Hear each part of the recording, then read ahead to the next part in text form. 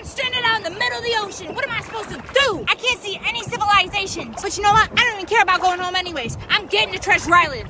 What can I use as a paddle? Oh wait, I have two paddles right here. Perfect.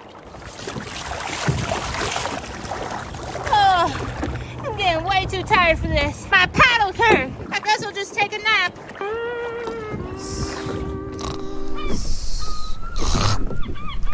Where am I? Oh my gosh, that's Treasure Island right there.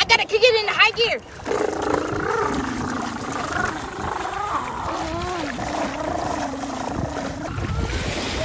Finally made it to the Treasure Island. Now where's that treasure chest? It's gotta be around here somewhere.